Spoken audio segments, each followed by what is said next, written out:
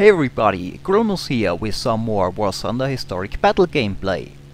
So, this time I fly two more British premium planes, the Hawker Typhoon Mark 1B I got in the Steam A spec, to compare it a bit with the Mark 1A I flew last week, and an old favorite of mine, the Mustang Mark 1A, to take a look at the difference between the two premium planes that are pretty close together in the tech tree. So, let's take a look at the Mustang first, before we look at the Typhoon and compare the two a bit.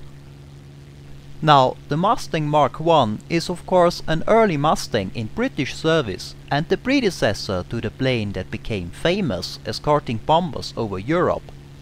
This early version does not have the Packard Merlin engine though, but the Allison V1710 with a single-stage supercharger.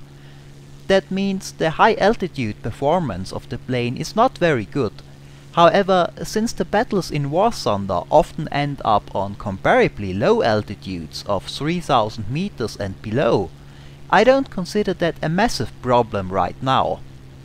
The Mustang is aerodynamically very clean and features a laminar flow wing, which reduces the plane's drag, but also increases its stall speed. The reduced drag is of course beneficial to the plane's speed and especially in a dive, the Mustang can reach impressive speeds, and it has the structural strength to maneuver at high speeds, making the Mustang a great boom zoom plane. This can also be beneficial when you can tempt an opponent with weaker structural strength to dive after you. Once he gets too fast, you can pull out of the dive and he has no choice but to either dive past you or risk losing his wings.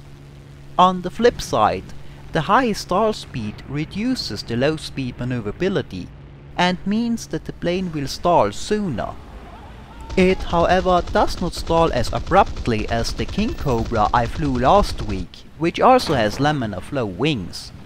And even though the Mustang is not a great turner, I at least consider it easier and more comfortable to fly in a dogfight with direct control than the King Cobra because of that. Well then, let's take a look at the match in the Mustang. We are on Korea again and a 9T tried to get a shot on a Bearcat passing above, and he has apparently not noticed me approaching him. A good opportunity to take him out while he's slow from his steep climb. He was the only enemy plane really close to me at this point, so it's time to take a look around, judge the situation and decide where to go next. There is a LA-7 high above me, too high that I could catch up to him anytime soon, and he does not appear to be interested in me either. Below me are several planes, enemy and friendly, but I don't want to give up all my altitude yet diving all the way down on them. In front of me, however, are a LA-7 and a IL-10 ground attack plane on somewhat similar altitude, apparently attacking a Lancaster bomber. At this point they seem to be the best target, so I move toward them but I lose track on the IL-10 and the LA-7 is moving away towards his base. I could chase him, but again I don't want to give up my altitude yet, or move that far away from the battle. Looking back however, I can see that the LA-7 that was above me is now engaged with a Mosquito. I assume the dogfight will slowly draw him down on my altitude and the mosquito needs help against the fighter, so I head back towards them. I hope I can surprise the LA while he is busy with the mosquito, which does a good job evading the LA-7's fire and staying alive. The LA-7 stays on his tail though, but as I had hoped, they lost quite a bit of altitude in the dogfight, giving me the advantage. The mosquito moves toward me and then passes below me with the LA-7 in hot pursuit. As they pass below me, I go into a split S and roll after the LA. I don't get quite enough lead on him at the first, and he seems determined to stay on the mosquito even though I get a hit on him on the second pass. He evades well and keeps attacking the Mossy. I have to get him off the mosquito before he can do serious damage. He proves a difficult target though, and he dodges left and right between his shots. But eventually a few more hits convince him to finally break off his attack on the mosquito and he starts to turn. Now with the mosquito out of danger, I have to turn after the LA7 to get him out of the fight. The Mustang doesn't quite turn well enough to get the necessary lead for the shot in a normal turn though, so I put the nose up and I go up in a high yo-yo, which gives me the lead I need, and I fire a volley pretty much at convergence range with devastating effect. Now, the rest of the enemy team is closer to their base and me and the Mosquito move towards them. There is a LA-7 on lower altitude and the IL-10 I saw earlier a bit higher. There is also an enemy bomber in the area, but he is currently no threat. The Mossy bounces the LA-7 which turns back to base, and I initially want to go after him, hoping to catch him. But I notice that the IL-10 is moving towards me, and even though it is just a ground attack plane, ignoring it and giving him an opportunity to get behind me while I chase the LA would be a fatal mistake. The IL-10 has two 23mm cannons after all.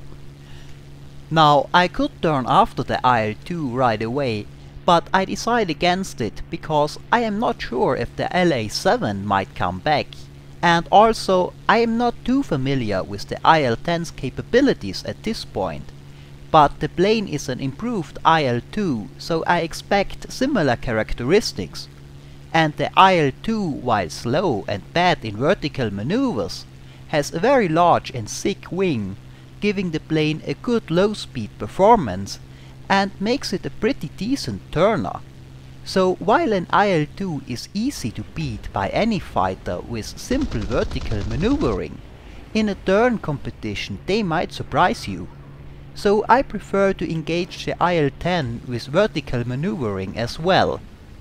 Now looking at the data of the IL-10 afterwards, it appears it has a much smaller wing area than the IL-2, so it probably won't turn as well, but better safe than sorry.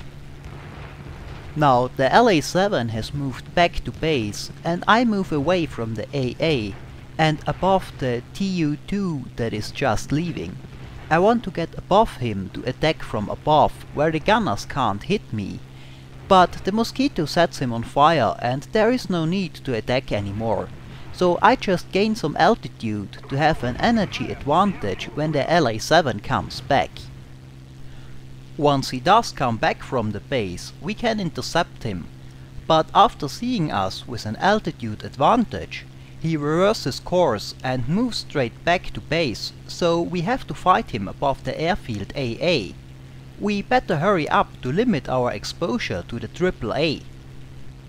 I dive down after him and attack with a pretty decent speed, which he answers by turning into me. Now I maybe could have gotten enough lead to fire if I had pulled harder, but even the Mustang's structural strength has its limits and I don't want to needlessly risk losing wings. So I loop around to come around for a second attack from above. It looks like he turns to face me in a head-on and I'm not a fan of that.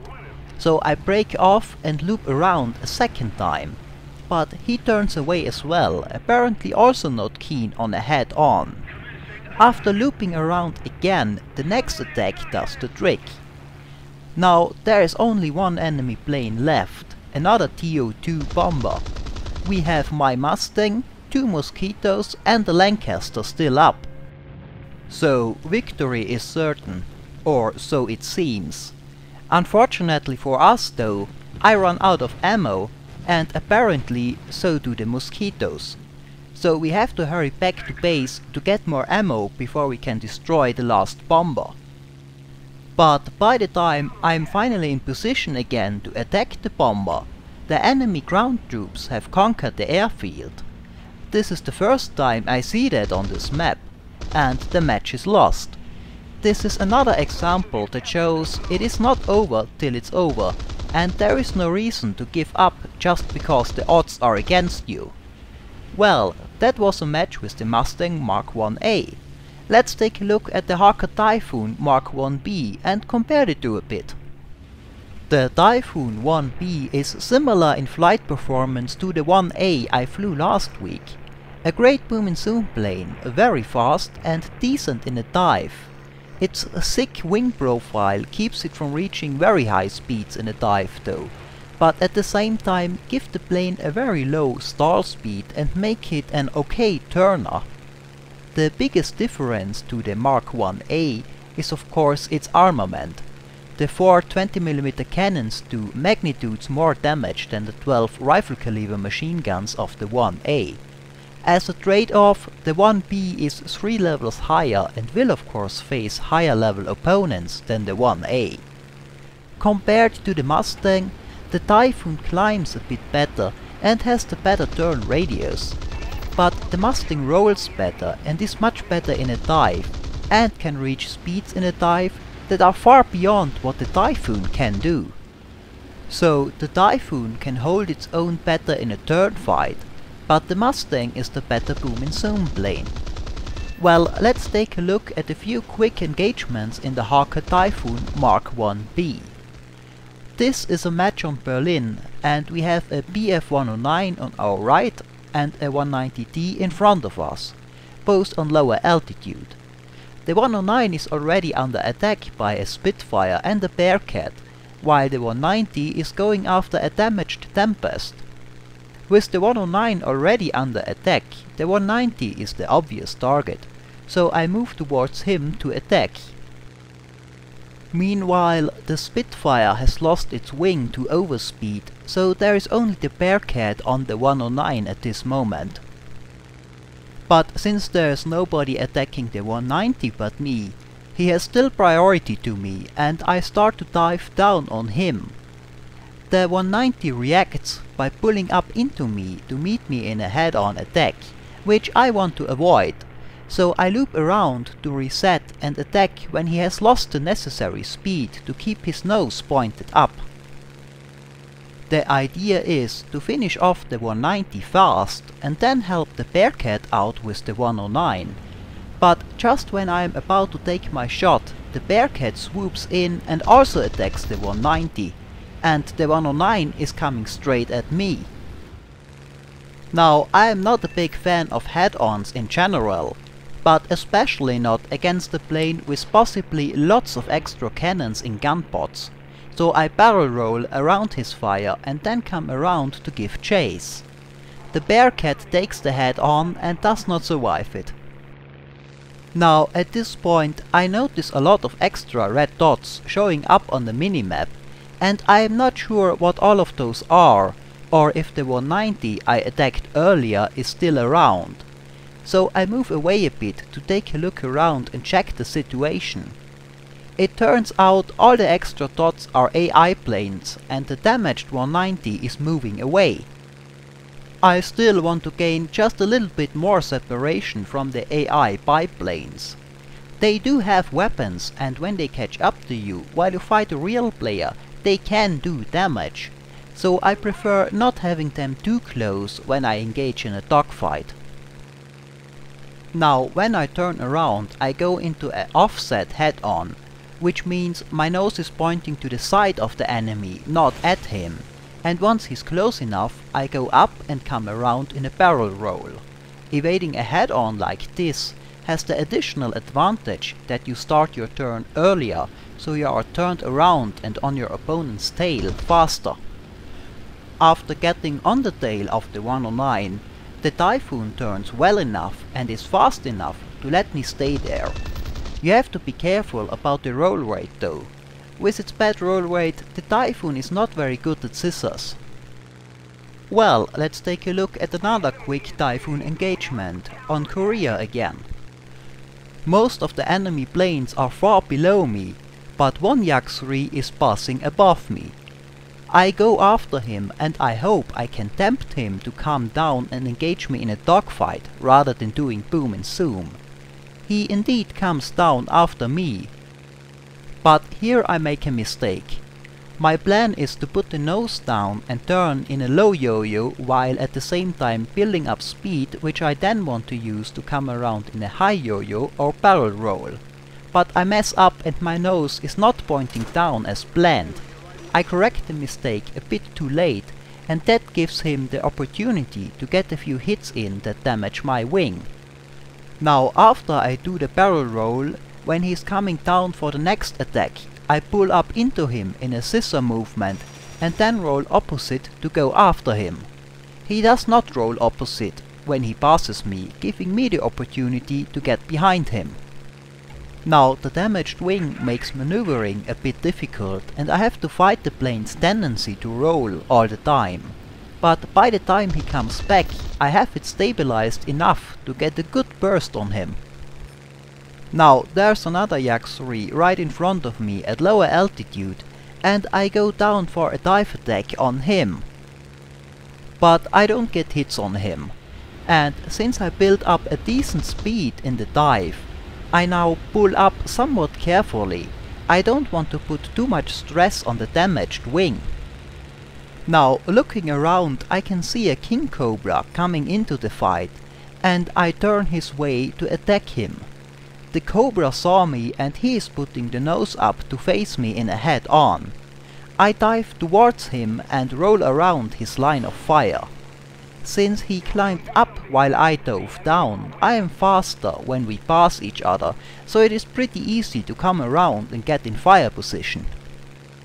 The damaged wing still gives me a bit of trouble, but the Cobra is pretty slow at this point and easy to hit. Now, as someone pointed out in the comments last time, if a damaged wing gives you trouble, it is often a good idea to use the aileron trim to compensate, but I often forget about that in the heat of the battle, and the Typhoon does not have aileron trim anyway. Well, that's it for this video. I hope it was enjoyable, thanks for watching, and maybe I'll see you next time.